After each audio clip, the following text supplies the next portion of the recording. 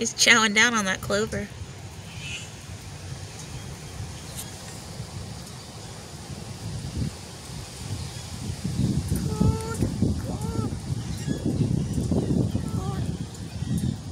Yeah, that's good stuff, huh, Shelly?